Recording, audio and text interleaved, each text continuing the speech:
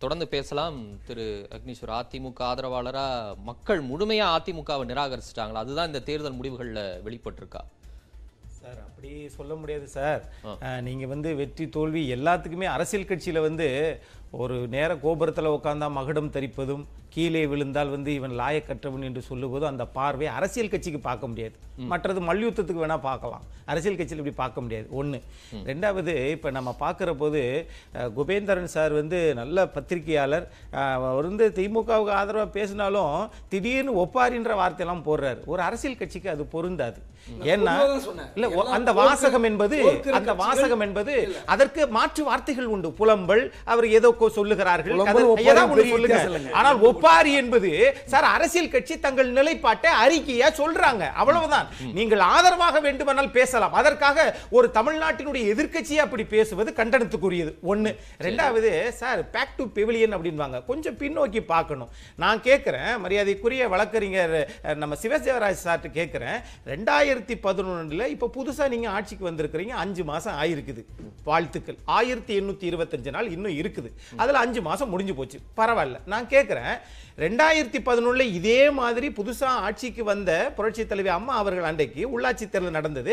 அன்னைக்கு அண்ணா திமுக வாங்கிய வாக்குகளுடைய சதவீதம் தொண்ணூத்தி ரெண்டு விழுக்காடு. ஆனால் திராவிட முன்னேற்ற கழகம் வாங்கிய விழுக்காடு எட்டு விழுக்காட்டுக்கு கீழே. அன்னைக்கு என்ன பண்றது? ஆகவே அன்றைக்கு எந்த நிலைப்பாடோ அதே நிலைப்பாடு தான். இல்ல சார்.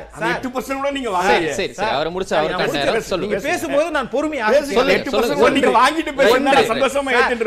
அப்படியெல்லாம் ஜனநாயகத்துல சார். எல்லாரும் தோத்துட்டு தான் சார். வர்றோம். அரசியல்ல எல்லாம் பேர் மேல அப்படி பார்த்தா. பத்து வருஷ காலம் ஏன் நீங்க ஆட்சிக்கே வரல? அது வேறு. நான் அதுக்குள்ள போக விரும்பல. நான் கேட்குது நான் ஸ்ட்ரெயிட்டாவே பாயிண்ட்டுக்கு வரேன். நான் கேட்கிறேன் முதலமைச்சர் அவர்கள் மாட்சிமைக்குரிய முதலமைச்சர் அவர்கள் உள்ளாட்சி தேர்தல்ல ஏன் வந்து பரப்புரைக்கு செல்லவில்லை? ஒன்று. ஒருவேளை அவ்வளவு ஒண்ணு முக்கியமான கேள்வி சரி. நான் கேக்குறேன் இல்ல ஒரு நிமிஷம் இருங்க. ஒரே நிமிஷம். தமிழ்நாட்டுக்கும் சேர்த்து நட- நடத்திருக்கலாமே. நீங்க. தான் அமோக வெற்றி பெற்றுட்டீங்களே? ஏன் ஒட்டுமொத்த. தமிழ்நாட்டுக்கு நடத்தல அது முடிஞ்சிருச்சு. உயர்நீதிமன்றம் வரைக்கும் போய் உத்தரவாதம் கொடுத்து நடந்துருச்சு. சொல்லிடுறேன் சார். அதுக்கப்புறம் அப்புறம் சார் சொன்னாங்க நம்ம குபேந்திரன் சார் சொன்னாரு ரெண்டாயிரத்தி ஆறு அப்படின்னாரு. நான் கேட்கிறேன் ரெண்டாயிரத்தி ஆறுல மரியாதைக்குரிய உயர்நீதிமன்ற நீதியரசர் இப்ராஹிம் கலிஃபுல்லா பி கே மிஸ்ரா என்ன சொன்னாங்க உங்களுடைய ரெண்டு நீதிபதியினுடைய தீர்ப்புக்கு முன்னாடி நீங்களா வந்து ராஜினாமா பண்ணிட்டு திரும்ப தேர்தலை கண்டனம் பண்ணீங்க அதுக்கு கூட அன்றைக்கு ஆற்காடு வீராசாமி அவர்கள் முதல அவரு முதலமைச்சர் டாக்டர் கலைஞர் அவர்கள் அவர் என்ன சொன்னார்னா வானத்திலிருந்து குதித்தவர்கள் அல்ல என்ற விமர்சனம் கூட தினமணியில முதல். தலையங்கத்தில் எழுதினாங்க பழைய வரலாறுகள் எல்லா நம்ம இருபத்தொன்னுக்கு நிலவரம். வந்துருவோம் இருபத்தொன்னுக்கு. வந்துருவோம் நான் வரேன் ஒரே நிமிஷம். சரி நடந்து முடிந்த உள்ளாட்சி தேர்தலில் வரலாறு காணாத வன்முறையும் ஜனநாயகம் காணாத அக்கிரமங்களையும் கட்டவிழ்த்து விட்டு மிகப்பெரிய தேர்தல் வன்முறை நடத்தி முடித்திருக்கிறது அப்படின்னு சொல்லியிருக்கீங்களே. எந்த இடத்துல நடந்தது? ஏதாவது ஒண்ணு ரெண்டு சொல்ல முடியுமா?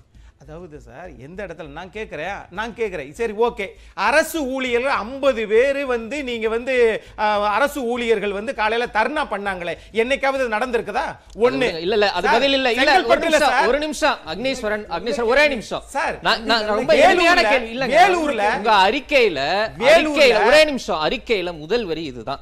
அது ரொம்ப காட்டமா இருக்கு. உள்ளாட்சி தேர்தலில் வரலாறு காணாத வன்முறையும் ஜனநாயகம் காணாத அக்கிரமங்களையும் கட்டவிழ்த்து விட்டு மிகப்பெரிய தேர்தல் வன்முறையும் நடத்தி முடித்திருக்கிறது. மூணு காட்டமான வார்த்தைகள் இருக்கு. அதுக்கு ஏதாவது சில உதாரணங்கள் மட்டும் சொல்லுங்க. போதும். ரைட் வரலாறு காணாத வன்முறை என்ன தெரியுமா சார்? ஒண்ணு மரியாதைக்குரிய நீர்வளத்துறை அமைச்சர் துரைமுருகன் அவர்கள் பிரச்சாரத்துல பரப்புரையில போய் சொல்லுகிற போது இந்த உள்ளாட்சி தேர்தல்ல பாருங்க இது கிடைக்காட்டினா நாம வந்து அடுத்து வந்து கோஆபரேட்டிவ் தேர்தல் இருக்கு. சார் வரலாறு காணாத வன்முறை. இது வந்து இதெல்லாம் அவர்களுக்குரிய சாட்சி சான்றாவணம். சரி, அதே வேலூர்ல. சார் சொல்றேன் சார் சார் அதே வேலூர்ல சார் தம்பி சார் அதாவது கோணி பைய காணோம் சீலை காணோம் அப்படின்னு சொல்லி தமிழ்நாட்டுல முதல் பிரச்சனை அங்கிருந்து ஆரம்பிச்சிச்சு. அப்போ அப்போ அவர் சொன்ன கூற்றுக்கும் இந்த நிகழ்வுக்கும் நீங்க ஒப்பிட்டு பார்க்க வேணாமா ஆகவே இவர்கள் வந்து நான் ஸ்வீப்பா வந்துட்டேன்னு சொல்றாங்க சரி ரைட் இதுதான் ஜனநாயகம் காணாத அக்கிரமமா இது வந்து சார் அக்கிரமம் அப்படின்னு சொன்னா அப்படி பார்த்தா உள்ளாட்சி தேர்தல்ல இவங்க பண்ணாத அக்கிரமம் சார், ஓட ஓட நான் இந்த தேர்தலை black சார்.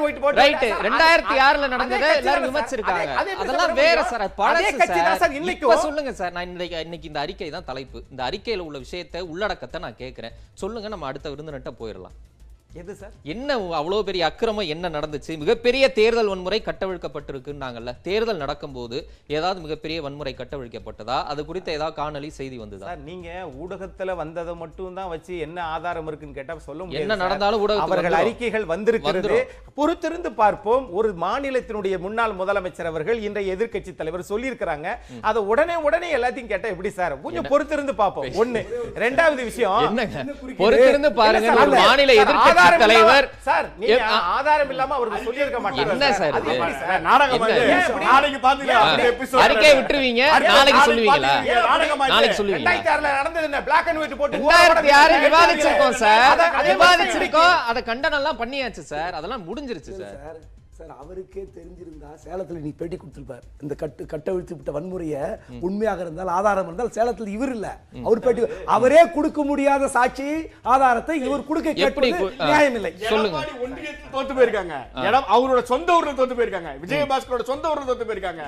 முன்னாள் அமைச்சர்களோட எல்லா சட்டத்திற்கு புறம்பான. நடவடிக்கைகளை பட்டியலிட்டால் ஒரே நிமிஷம். சட்டத்திற்கு புறம்பான நடவடிக்கைகளை பட்டியலிட்டால் நாடும் தாங்காது ஏடும் தாங்காது. சும்மா பட்டியல் கொஞ்சமாவது கொடுத்துருக்கலாம்ல. ஏன் நாடும் தாங்காது ஏடும் தாங்காத அளவுக்கு என்ன நடந்தது? எதுக்கு சார் இவ்வளவு அவசரம்? பொறுங்க சார். வரும் சார். அதெல்லாம் சார். வரும் சார் அறிக்கையை கொடுத்துட்டு என்ன? இன்னைக்கு வந்ததை பார்த்துட்டு நாளைக்கு நாளை மறுநாள் கொஞ்சம் கொஞ்சமா வரும் சார். ஏன் சார்? மொத்தமா போட்டு இன்னைக்கே வந்து கேட்டா சரி நான் கேட்கறேன் தமிழ்நாட்டுல இன்னைக்கு தீ திராவிட முன்னேற்ற கழகம் வாங்கிய சதவீதம் மொத்தம் எவ்வளவு சார்? இன்னைக்கு சொல்ல முடியுமா? நம்ம தான் இப்ப பாத்துட்டு இருக்கோம். மொத்த சதவீதம் மொத்த சதவீதம். அண்ணா திமுக வாங்கியது எத்தனை சதவீதம்? சொல்லுங்க. அப்போ இன்னும் முழுக்க வந்து இன்னும் வரல. இன்னும் வந்து முழுக்க வராத போது அதை பற்றியான விமர்சனங்கள் அவ்வளவாக த- துல்லியமாக இன்னொன்னு. இந்த அறிக்கையில நான் பார்க்குறேன் எல்லாத்தையும் படிச்சுட்டேன். பொதுவா வந்து ஒரு எதிர்க்கட்சினா மக்கள் தீர்ப்பை வணங்கி ஏத்துப்பாங்க. அதற்கு பிறகுதான் ஜனநாயகம் தோற்றது பரநாயகம்ன்றது அப்படின்ற இதெல்லாம் இருக்கும். இந்த அறிக்கையில இந்த தேர்தல் முடிவுகள் குறித்து மக்கள் தீர்ப்பு குறித்து எந்த இடத்துலயும் இல்லை. முழுக்க முழுக்க ஒரு நெகட்டிவாகவே இருக்கு. இந்த தீர்ப்பு எல்லாமே வந்து தவறு அராஜகத்திற்கு உட்பட்டு வந்ததுன்னு. ஏன் மக்கள் தீர்ப்பை ஏற்கிறதுக்கு அவ்வளவு தயக்கமா அதிமுகவுக்கு மக்கள் தீர்ப்பை ஏற்க அவ்வளவு தயக்கம்னா தமிழ்நாடு முழுக்க இதே இது ஒன்பது மாவட்டத்தையே ரெண்டு இதை தேர்தலை பிரிச்சிங்க. மொத்தமா நடத்திருக்க வேண்டியதானே? எப்படி சார்? எப்படி சார்? ரொம்ப அடக்கியதான் சார் இந்த நான் அறிக்கை? கேட்கிறது ரொம்ப எளிமையான கேள்வி. இன்னைக்கு ரிசல்ட் வந்துருச்சு இல்ல ஒரு ஜனநாயகத்தில் ஆரோக்கிய